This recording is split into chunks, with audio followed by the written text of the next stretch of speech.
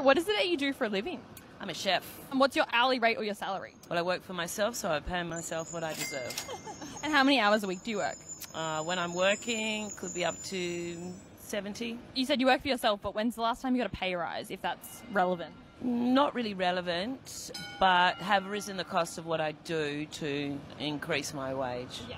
And what's the best and worst parts of your job? The amount of hours I work and where I get to go is the best. I work in the film industry, I'm a caterer, so I get to go on location, do all those cool things that people think is glamorous.